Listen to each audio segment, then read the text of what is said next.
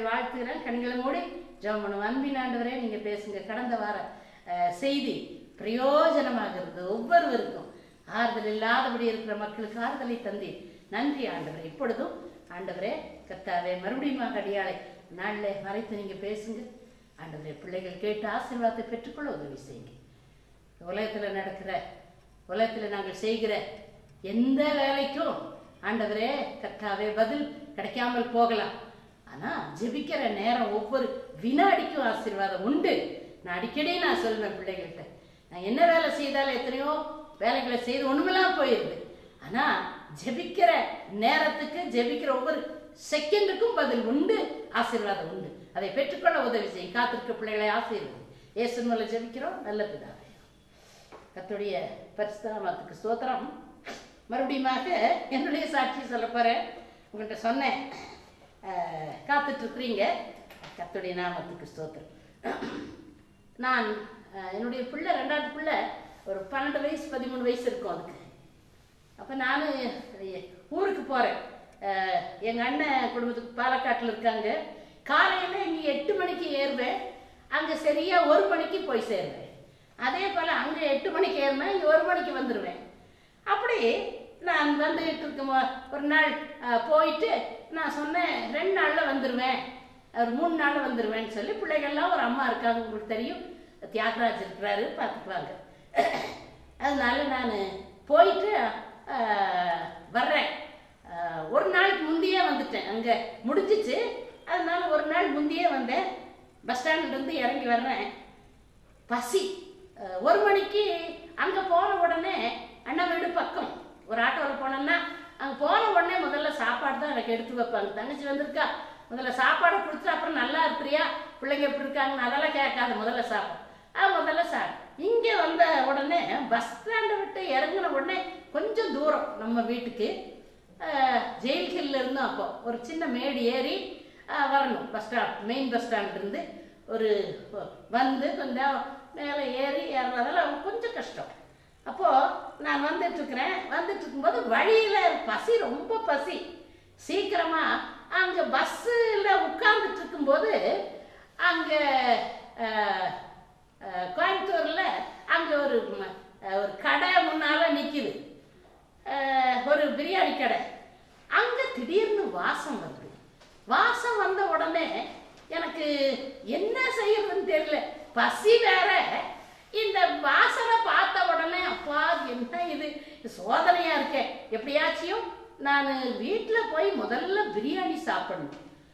அதுக்கப்புறம் தான் வேற வேலை அப்படின்ட்டு நினைச்சிட்டு வர்றேன். வந்தவன் இன்னும் பசி ஜாஸ்தியாகுது. வெளியில போய் ஹோட்டலில் போய் சாப்பிட முடியும்னா தனியாக போகிறேன் போறேன் யாராச்சும் கூட இருந்தால் போய் சாப்பிடலாம்.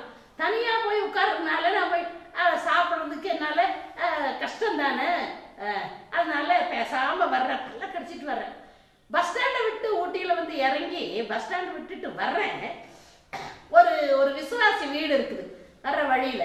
அந்த அம்மா வெளியில நின்றுட்டு இருக்காங்க. என்ன பார்த்த உடனே அவங்களுக்கு சொல்ல ஒண்ணா சந்தோஷம். அம்மா அம்மா சோத்திரமா வாங்கம்மா வாங்கம்மா அப்படின்னு. பக்கத்துல வீடு. அப்ப நான் சொன்னேன் போயிட்டு வர்றேன். நான் ஊர்ல இருந்து வர்றேன். அதனால நான் போயிட்டு வர்றேம்மா. சாயங்காலம் வர்றேன்னு. அதெல்லாம் முடியாது. உங்களை பார்த்துட்டு எங்க வீடு பக்கம் நீங்க உங்க காலை வச்சு ஜெபம் பண்ணிட்டு தான் நான் போனக்குள்ள விட மாட்டேன். தர்ம சங்கடமா இருக்குது. என்ன பண்றதுன்னு தெரியல. அப்புறம் அம்மா நான் சாயங்காலம் நேரம். அதெல்லாம் முடியாது. வாங்கன்னு கையை பிடிச்சி கூட்டு போயிட்டாங்க போன உடனே அவங்க வீட்டில் சாம்பார் எல்லாம் மனம் வருது. என்ன பண்றதுன்னு தெரியல. அவங்க சொன்னாங்க அம்மா ஒரு மணி ஆச்சு சாப்பிடுவீங்களா? இல்லை இல்லை வேண்டாம். நான் சாப்பிட்டுட்டு வந்துட்டேன். ஐயோம்மா கொஞ்சம் சாப்பிடு. இல்லை சாப்பிட்டு வந்தேன்னு உடனே சரின்ட்டாங்க. அப்போ ஜெபம் பண்ணுறேன் அப்படின்ன உடனே நான் என்ன சொல்கிறேன் இவங்க சாப்பிடுன்னு சொன்னாங்கல்ல. சாப்பாடை கொண்டு வர வேண்டியதானே? கொண்டு வந்து இந்தா இந்தாங்க சாப்பிடுங்கன்னு சொல்ல வேண்டியது இது. என்ன இது? ஒரு தடவை கேட்டுட்டு பேசாம விட்டுட்டாங்களே. இன்னொரு தடவை சரி இல்லை பரவாயில்ல சாப்பிடுங்க. அப்படின்னா தானே எனக்கு ஒரு சந்தோஷம். சொல்லுவாங்க சொல்லுவாங்கன்னு பார்த்துட்டே இருக்கு அவங்க சொல்லவே மாட்டேங்கிறாங்க. நான் எனக்கு அதை விட ரொம்ப சங்கடம். என்ன ஜபிக்கிறதுனே தெரியல. அதுக்கப்புறம் கொஞ்சம் தண்ணி கொடுங்கன்னு சொல்லி தண்ணியை வயிறெல்லாம் காயுது. தண்ணி குடிச்ச மறுபடியும் அஹ், ஜெபம் பண்ணிட்டு வெளியில வரும்போது அம்மா கொஞ்சம் சாப்பிட்டுட்டு போங்க அப்படின்னு சொல்லுவாங்களான்னு பார்க்குறேன் சொல்லவே மாட்டேங்கிறாங்க. எனக்கு ரொம்ப வசனமா இருந்தது. என்ன இது? இப்படி ஒரு விசுவாசியா? வீட்டுக்கு வந்தவங்களுக்கு ஒரு ப- மத்தியான நேரத்தில் நான் மத்தியான நேரத்தில் யார் வந்தாலும் சாப்பிடாம அனுப்ப மாட்டேன் உங்கள்கிட்ட சொல்லியிருக்கிறேன். இப்படி என்ன அனுப்புறாங்களே. சொல்லியிருக்க கூடாதா? சொல்லக்கூடாதான்னு சொல்லி வெளியில ரொம்ப சோர்வாக சோர்வா நடந்து வர்றேன். நடந்து வந்து எங்க வீட்டு பக்கத்துல வரும்போது நான் அந்த அந்த இடத்துல கொஞ்சம் தள்ளி இப்படி வரும்போது ஒரே பிரியாணி மனம். இது என்னடா இது? சோதனையா இருக்குது. மறுபடியும் ஒரு அங்கே அங்க வந்தா அவங்க ஒரு சாம்பார் ரசத்தையாச்சும் கொடுத்துருந்தா சந்தோஷமா சாப்பிட்டுருப்பேன் ஏன்னா அந்த அளவுக்கு பசி. அவங்களுக்கு கொடுக்கல. மறுபடியும் அந்த ஹோட்டல்ல வந்த மனம் அதே மனம் இங்க வருதே. எங்க ஏரியாவில் யாரோ பிரியாணி செய்யறாங்க போல் இருக்குது. ஐயோ என்ன பண்றது? எனக்கு இப்படி ஒரு சோதனையா? அப்படின்னு சொல்லிட்டு வர்றேன். ஸ்தோத்திரம் பண்ணிட்டே வர்றேன். இது என்ன இது என்ன அப்படின்னுட்டு. உள்ள வீட்டு பக்கம் வந்த உடனே என்னுடைய ரெண்டாவது பேர் வீட்டுக்கு வந்துட்டேன். வந்த உடனே என்னுடைய சின்ன பொண்ணு பேர் பிரியா. அது வந்து வாசல் கதவுல அப்படி நின்றுச்சு.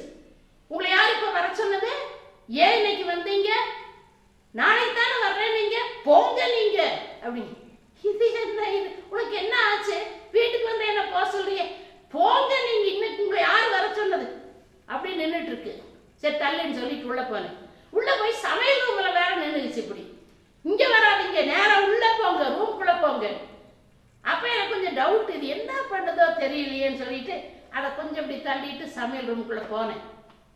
அங்க பிரியாணி ஆயிட்டு இருக்குதுங்க.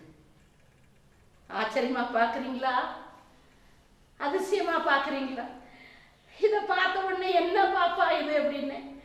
ஒண்ணுமில்ல. நீங்க நாளைக்கு தானே வருவீங்க. அதனால எங்கிட்ட பாக்கெட் மணி இருந்தது.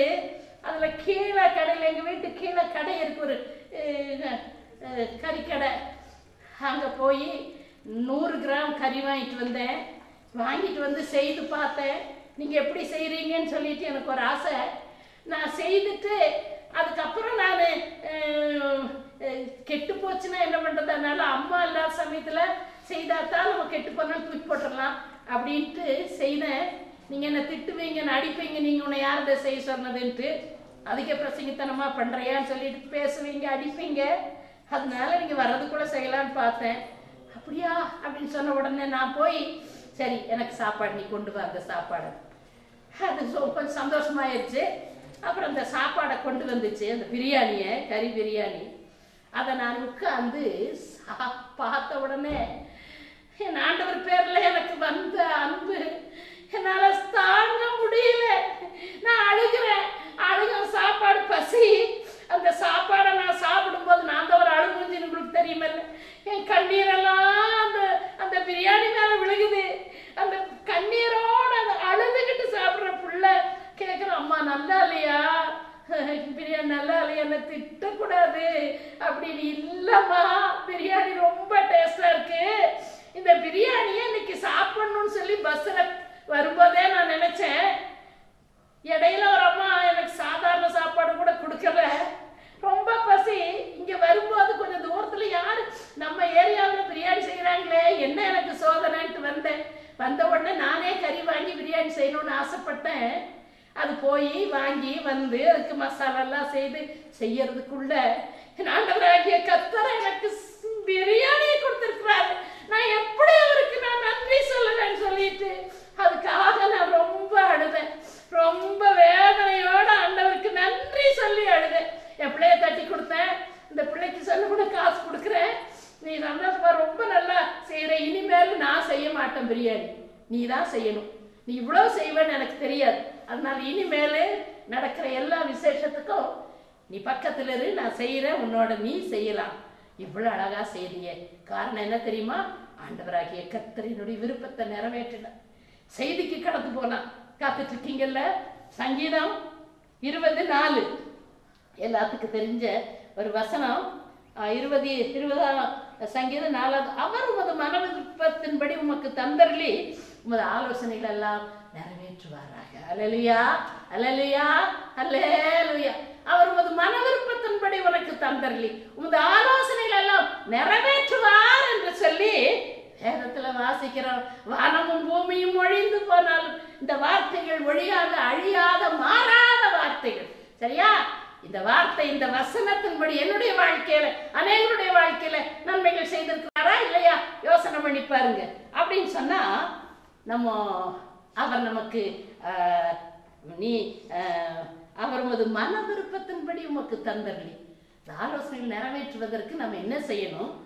நம்ம என்ன செய்யணும்? நம்ம இஷ்டத்துக்கு வேத வாசிக்காம ஜெபிக்காம ஆண்டவரை நேசிக்காம இருக்கிறவங்களுடைய மன விருப்பத்தை எல்லாம் நிறைவேற்றுவாரா?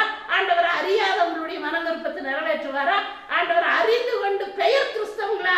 பண்டிகை கிறிஸ்தவங்களா இருக்கிறவங்களுடைய வாழ்க்கையில அவர் மன விருப்பத்தின்படி துவாரா இல்லைங்க இல்லை. இன்னொரு வசனம் கூட உண்டு. சங்கீதம் நூத்தி நாற்பத்தி மூணு பத்துல நம்ம வாசிக்கிற சங்கீதம் நூற்றி நாற்பத்தி மூன்றாவது சங்கீதத்துல இப்படிப்பட்ட ஒரு வசனத்தை நம்ம வாசிக்கிறோம். நூற்றி நாற்பத்தி மூன்றாவது பத்தாவது வசனத்தை வாசிக்கிற கவனிங்க உமக்கு பிரியமானதை செய்ய எனக்கு போதித்தரலும் நீரே என் தேவன். இப்படி நல்ல ஆவி என்னை செம்மையான வழியில நடத்துவாராக உமக்கு பிரியமானதை செய்ய எனக்கு போதியும். அப்ப ஆண்டவர் சொல்றாரு நீங்க உங்களுக்கு பிரியமானதை நான் செய்வேன்.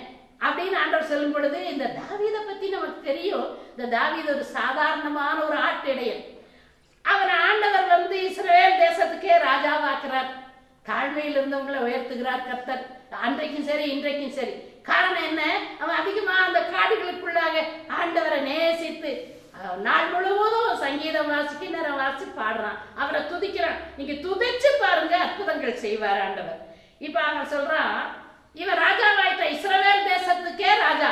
இப்ப அவன் கண்ண அசைவ பார்த்து ஒவ்வொருத்தரும் பண்ணு செய்வாங்க.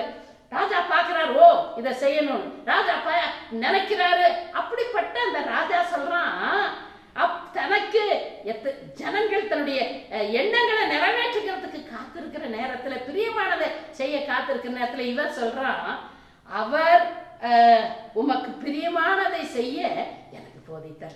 எனக்கு இதெல்லாம் நீ தான் கொடுத்தீங்க ஆண்டவரை.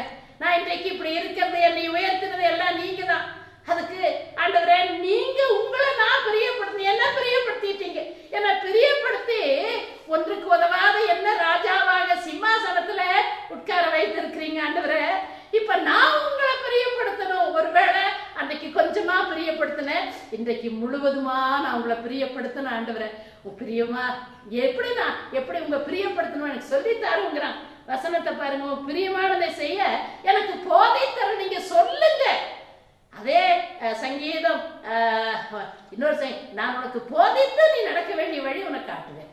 உன்மேல் என் கண்ணை வைத்து உனக்கு ஆலோசனை போதைங்க ஆண்டவரே நான் என்ன செய்யணும்? சிலர் பாருங்க நமக்கு பிரியமான அவங்க வந்தா பிரியமானவங்க நம்ம கிட்ட இருந்தா என்ன செய்யலாம்? என்ன செய்யலாம்? அவங்களை எப்படி பிரியப்படுத்தலாம்? அவங்கள ஒரு கணவனை ஒரு நல்ல கணவனா இருந்தா மனைவி ரொம்ப பிரியப்படுத்தணும் ரொம்ப பெரிய யோகா வீட்டுக்கார் வருவார் அவருக்கு அதை செய்தா பிடிக்குது. அதே போல மனைவியை நேசிக்கிறவங்க இந்த சாரியை கொண்டு போனா அதே போல பிள்ளைகள் நல்லா படிச்சுட்டாங்கன்னா அந்த பிள்ளைகளை நம்ம நேசிப்போம் பிள்ளைகளுக்கு கொடுப்போம். பெற்றோரை பிள்ளைகள் பெற்றோர் கூட சில குழந்தை ஏதாவது வாங்கிட்டு போச்சுன்னா அதை கொடுங்க. எங்க மம்மிக்கு அப்படி இங்க கொடுக்காரு.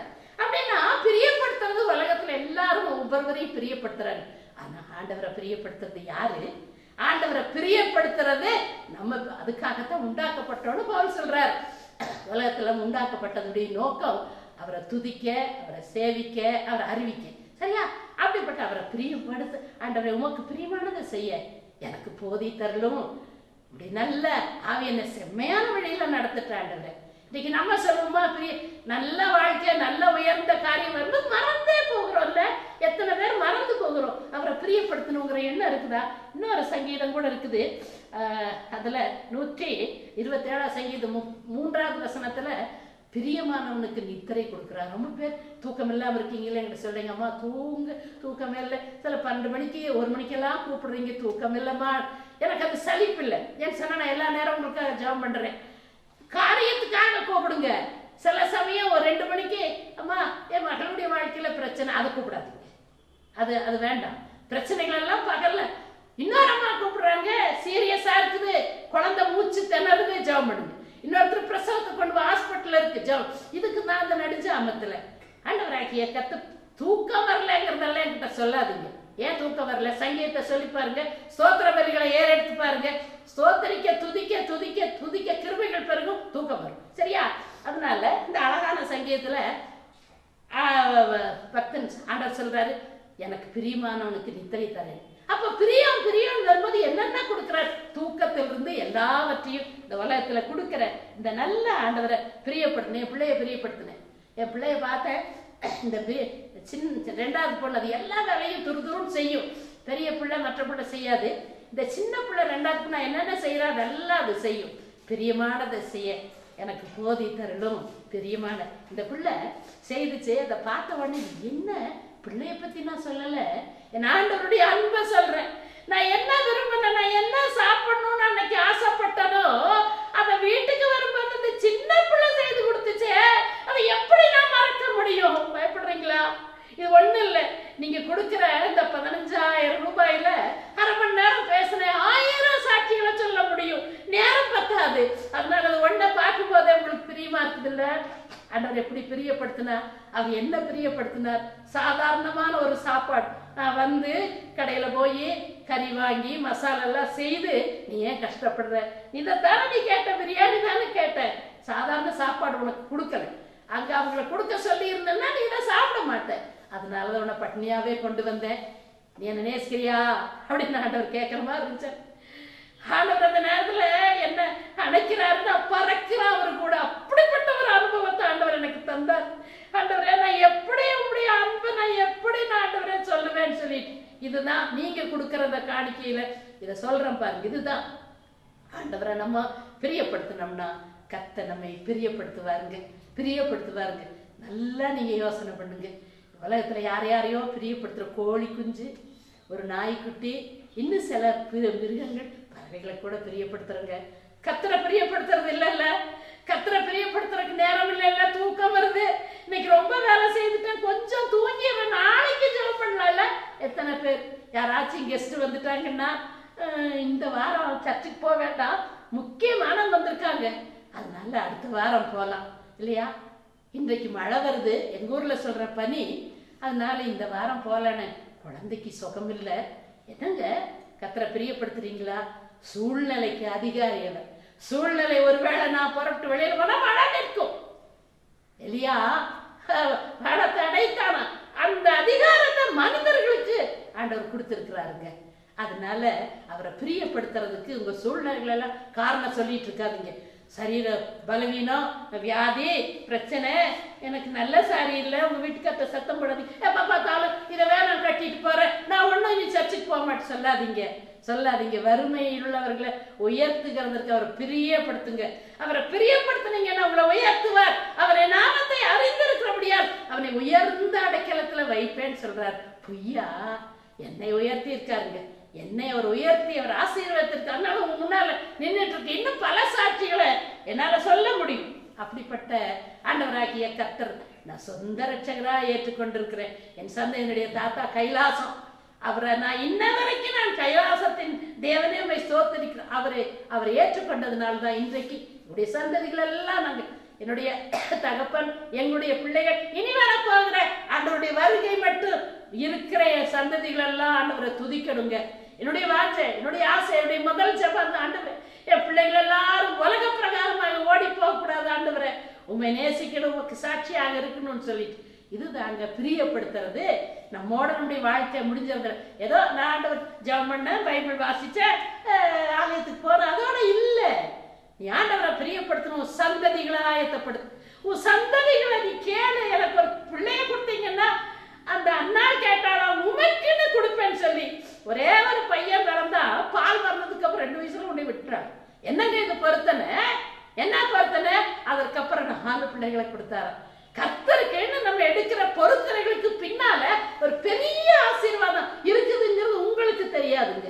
அதனால ஆண்டவரை பிரியப்படுத்தி எந்த வகையில பிரியப்படுத்தலாம் எப்படி பிரியப்படுத்தலாம் அப்படிங்கிறது உங்க யோசனையா இருக்கணும். அது இல்லாதபடி நேரம் இல்ல ஜெபிக்க நேரம் இல்ல பைபிள் வாசிக்க நேரம் இல்ல பைபிளை வாசிங்க வாசிங்கன்னு சொல்லிட்டே இருக்கிறேன். இன்றைக்கு யாராரோ உலகத்தில் இருக்க தலைவர்கள் எல்லாம் வாசிச்சிருக்கிறாங்க. சரியா? நம்ம கிறிஸ்தவங்க அதை வாசிக்கிறது இல்லை. வாசிங்க. பைபிள் வந்து நான் சொல்றேன் எங்க அம்மா சொல்வாங்க இது பாஸ்போர்ட்னு சொல்வாங்க. இது விசான்னு சொல்வாங்க. இதை வாசிச்சோம்னா இதை முடிச்சோம்னா பரலோகத்துக்கு ஒரு பாஸ்போர்ட்டுங்க இது. எங்க அப்பா எங்க அம்மா சொல்லுவாங்க நீ பைபிளை நீ முடிக்கலன்னா நீ பரலோகத்துக்கு போக முடியாது. அப்ப எனக்கு பயம். நான் சின்ன பிள்ளையா இருக்கும் ஐயோ அப்ப நரகத்துக்கு போக நான் பயம். ஆமாங்க. ஆமா அப்படி வாசிக்க ஆரம்பிச்சது எனக்கு பல தடவைகள். ஜார்ஜ் முல்லர் முழங்கால நின்று நூறு முறை வாசிச்சாராம். இன்றைக்கு நான் பைபிள் வாசிக்கும் போது என்ன அவரு நூறு முறை முழங்கால் நின்று வாசிச்சாரா? உட்கார்ந்துட்டோ படுத்துக்கிட்டோ இல்லை. நானும் முழங்கால நின்று நிறைய தடவை வாசிச்சிருக்கேன் காரணம் எங்க அம்மா. என்னுடைய அம்மா தான். எங்க அம்மா தான் சொன்னாங்க பைபிள் இன்றைக்கு பரலோகம் போடுமா? பாஸ்போர்ட்டுங்க இது. வேதம் வாசிங்க. ரெண்டாவது உங்க குடலை காயப்போட்டு ஒட்டலை ஒட்டிக்கி ஆண்டவரை பார்த்தீங்கன்னா பரலோகத்தின் ஆசீர்வாதம் இறங்குங்க. நீங்க உபவாசம் ஒரு பெரிய ஒரு ஆசீர்வாதத்தை கொண்டு வரும். எத்தனையோ ஜெபம் உண்டு. ஆனா சிந்தனைகள் எல்லாம் ஒருமுகப்படும். சரீரம் எல்லாம் அப்படியே சோர்ந்து போகும். எந்த எண்ணமும் வராது. யாராச்சும் ஒருத்தர் சண்டைக்கு வந்தா கூட சின்னக்கு என்னத்தை பேசுறது? நானே அப்படி சோ அப்படிப்பட்ட அப்படி உடலை காய போட்டு குடலை காய போட்டு உபவாசம் பண்ணுங்க. நடக்காதது நடக்கும். ஒன்ற ஒன்று பைபிள் வாசிங்க. ரெண்டாவது உபவாசம் பண்ணுங்க. மூணாவது முழங்கால் அதிகாலமாக தேடும் என்னை நேசிக்கிறவர்களை நான் நேசிக்கிறேன்.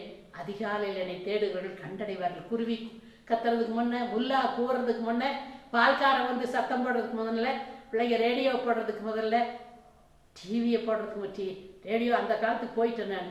டிவியை போடுறதுக்கு முதல்ல. நீங்கள் என்ன பண்ணுறீங்க ஆண்டவரை தேடுங்க. ஆண்டவரை கூப்பிடுங்க. ஆண்டவரை கூப்பிடுங்க ஆண்டவரை கூப்பிடுங்க. கத்தர் நமக்கு ஜீவனை கொடுத்த மனுஷ ஜென்மமா தம்ம போல உருவாக்கின குருவி பாடாது அவரை துதிக்காது. பல பெரிய பெரிய மிருகங்கள் யானைகள் சிங்கங்கள் எல்லாம் பேசுமா? எசப்பா சோத்திரம் உங்களையும் என்னையும் தம்ம போல உருவாக்கி பேசுகிற கிருபையை தந்திருக்கிறார். அதனால அவரை துதிங்க அதிகாலையில அவரை துதிங்க. முதல் வார்த்தை நான் கண்ணு முடிச்ச உடனே ஸ்தோத்திர எசப்பா அப்படின்னு. கட்டிலிருந்து கீழே காலை வச்ச உடனே சொல்வேன் இன்றைக்கு இந்த உலகத்துல இந்த பூமியில கால் வைக்கிறதுக்கு எனக்கு உதவி செய்தீங்களே சோதரப்பா அப்படிம்பேன். யார் என்ன கூப்பிட்டாலும் அந்த நேரத்துல எழுந்திருக்கு அவ மற்றவங்களோட பேச மாட்டேன். இதுதான் இன்னும் பல காரியங்களை சொல்வேன் நேரம் இல்லை. அடுத்த வாரம் இன்னும் பல நல்ல சாட்சிகளை சொல்லி நடந்த சாட்சிகளை அற்புத சாட்சிகளை சொல்லி நம்ம ஆண்டவரை மகிமைப்படுத்துவோம் நான் சொன்னதெல்லாம் உங்களுக்கு விளங்கி இருக்கும் கண்டிப்பா ஆண்டவரை பிரியப்படுத்துங்க. நமக்கு பிரியமானதை செய்ய உமக்கு பிரியமான செய்ய எனக்கு போதியும்னு சொல்லி சங்கீதக்காரனை போல சொல்லுங்க. அதே போல சங்கீதம் இருபத்தி நாலு அவர் உமது மன விருப்பத்தின்படி உமக்கு தந்தரலி உமது ஆலோசனைகள் எல்லாம் நிறைவேற்றுவார் அப்படிங்கிறது சத்தியம். செய்து பாருங்க. அதுக்கப்புறம் நீங்க என்னை கூப்பிட்டு சொல்றீங்க. கண்கள் மூடி ஜெபணுமா காணிக்கைக்காக ஜெபம் பண்றேன் காணிக்கைக்காக நான் நன்றி சொல்றேன். நீங்க கொடுக்கலன்னா இதை பேச முடியாது. நான் வேற எதுக்கும் கேட்கல. கோயில் கட்டணும் வீடு கட்டணும் பிள்ளை கல்யாணம் பண்ணணும் படிப்புக்கு வேணும். இல்லைங்க. இந்த கடவுள் ஒரு அளவு ஆசீர்வதிச்சிருக்கிறார் எனக்கு தேவை டிவிக்கு நான் பேசணும். என்னுடைய ஊழியத்தை தாங்குங்க. கத்தவங்களை ஆசீர்வதிப்பார். கண்களை முடி அன்பின் ஆண்டவரே இந்த மாலை வேளையில் ஆண்டவரே உண்மை நோக்கி பார்க்க ஒரு தருணத்தை கொடுத்திருக்கிறீர். உமக்கு நன்றி. இந்த வேலை முடியுதான் ஒவ்வொருவர் பக்கத்துல நின்று கொண்டிருக்கிறீர் ஆண்டவரே. பார்த்து கொண்டும் படுத்து கொண்டும் ஆண்டவரே நம்பிக்கையோடு காத்து கொண்டிருக்கிற பிள்ளைகள். தண்ணீரை எண்ணெயை வைத்து ஆண்டவரை காத்து கொண்டிருக்கிற பிள்ளைகளுக்காக செபிக்கிறேன் ஆண்டவரே. நான் அல்ல நான் அங்கு போக முடியாத ஆண்டவரே. நூற்றுக்கு அதிபதி என்னுடைய பெயர் நூற்றுக்கு அதிபதின்னு சொல்லிட்டு இருக்கிற ஆண்டவரே. எசப்பா ஆண்டவரே கானானியஸ்ரீன்னு சொல்லிட்டு இருக்கிற ஆண்டவரே பிடிவாதமாக கேட்கிறது ஆண்டவரே யாக்கோபுன்னு சொல்லிட்டு இருக்கிற ஆண்டவரே நீ ஆசீர்வதிக்காம என்ன இல்லை இந்த பார்த்து கொண்டு இருக்கிற மக்களை ஆசீர்வதிக்காமல் உண்மை விட மாட்டேன்னு சொல்லி ஆண்டவரே ஆண்டவரே சப்பா ஆண்டவருடைய வார்த்தையை அனுப்புங்க ஆண்டவரே ஒரு வார்த்தை சொல்லு ஒரு வார்த்தை சொல்லு பார்த்து கொண்டு இருக்கிற இப்பொழுது பார்த்து கொண்டு இருக்கிற ஒவ்வொரு மக்கள் மேல உடைய வல்லமை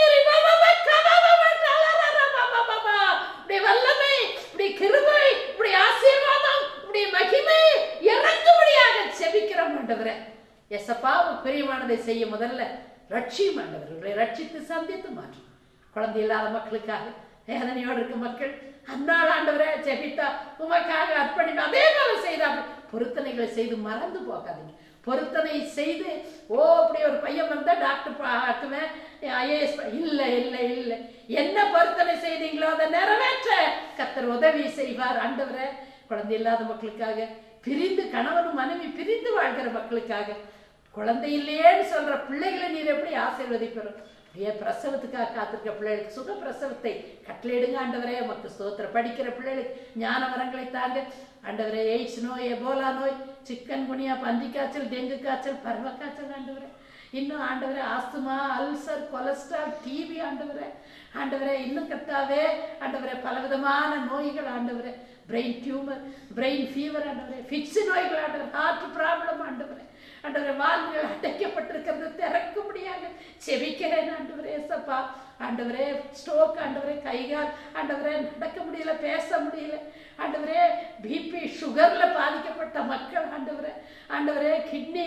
ஆண்டவரே கல்லீரல் மண்ணீரல். ஆண்டவரே இன்னும் கத்தாவே ஆண்டவரே எத்தனையோ வியாதிகள் ஆண்டவரே. முகவாதங்கள் ஆண்டவரே கண்ணு மங்கிட்டு போகுது. காது கேட்கறதில்லை. அந்த வயதானவர்கள் எப்பொழுதும் வாங்கி எப்பொழுதும் டைரியா பேதி ஆண்டவரே தலைவலி தீராத தலைவலி காய்ச்சல். குழந்தைகளுடைய வியாதிகளை கண்ணோக்கி பாருங்க ஆண்டவரே. பாலகர்கள் வேதனையோடு இருக்கிறார்கள் ஆண்டவரே. மனதுருகி ஆண்டவரே கத்தாவி நீர் அவர்களை சுகமாக்கும். ஆண்டவரே அமெரிக்காவில் இருக்கிற ஒரு டாக்டர் சொன்னார் என்னுடைய முதல் காரியம் ஒரு மூணு மாச குழந்தைய அந்த குழந்தைக்கு அந்த சுவாச குழாயில கஷ்டத்தை கஷ்டம். அதை சரி பண்ண கத்துற உதவி ஜபத்துல ஜெபித்த ஆண்டவரே இந்த குழந்தைய நான் என்ன முதல் எனக்கு தெரியாத நீங்க தான் சொன்னேன். கத்தர் சுகமாக்குன அதுக்கப்புறம் ஊசி அதுக்கப்புறம் இந்த சின்ன சின்ன குழந்தைங்க வேர்க்கடலை போய் லங்ஸ்ல இப்படியெல்லாம் காரணம் ஆண்டவரே. இந்த ஆண்டவரை மருத்துவர்களை நீங்கள் தொடுங்க ஆண்டவர். மருத்துவர்களை தொடுங்க ஆண்டவரே. அவர்கள் ஏதோ தானோண்டு ஆண்டவரே வேலைகளை செய்ய வேண்டாம். கத்தரை நம்பி காரியங்களை செய்யட்டும் ஆண்டவரை. ஸ்தோத்தரிக்கிறோம். இன்னும் தேவையான ஆண்டவரே கத்தாவே பிள்ளைகளை சந்திங்க ஆண்டவரே. படிக்கிறதுக்கு ஞானத்தை தாருங்க. சரியான திருமண வாழ்க்கையை தாங்க. ஏற்ற துணையை தாங்க. ஆதாமுக்கு ஏற்ற துணையை தந்தது போல பார்த்து கொண்டிருக்கிற ஒவ்வொரு பிள்ளைகள் துக்கத்தோடு வேதனையோடு இருக்க பிள்ளைகளுக்கு அமைதியாக இருக்க சொல்லுங்க. நம்பிக்கையை தாங்க ஆண்டவரை. ஒரு நல்ல ஒரு ஆசீர்வாதமான துணையை தாங்க. ரட்சிக்கப்பட்ட மணமகளை தாங்க. ரட்சிக்கப்பட்ட மணமகளை தாங்கன்னு சொல்லிட்டு அழகு அந்தஸ்தெல்லாம் அப்புறம் ஆண்டவரே அப்படிப்பட்ட கேட்கிற பிள்ளைகளுக்கு நீர் நிச்சயமாக ஆண்டவரே நல்ல வாழ்க்கையை தருவீர். தொடர்ந்து ஊழியக்காரர்களையும் ஊழியக்காரிகளையும் ஆண்டவரே கர்த்தாவை ஆசீர்வதிங்க தேவைகளெல்லாம் சந்திங்க. மறுபடியுமாக அடுத்த முறையான இந்த பிள்ளைகளுக்கெல்லாம் இன்றைக்கு ஜெபித்ததோடு தொடர்ந்து நான் ஜெபிப்பேன். ஆண்டவரை நீர் அறிவீர் காணிக்கை அனுப்புகிற மக்களை தொடர்ந்து ஆசீர்வதிங்க. நன்மை நாள் கிருபை நாள் முடிசூட்டும். துதிக்கிற மகிமை எல்லாம் நீர் மாத்திரம் எடுத்துக்கொள்ளும். இயேசு மூலம் ஜெபிக்கிறோம். நல்ல பிதாவே. ஆமென். time.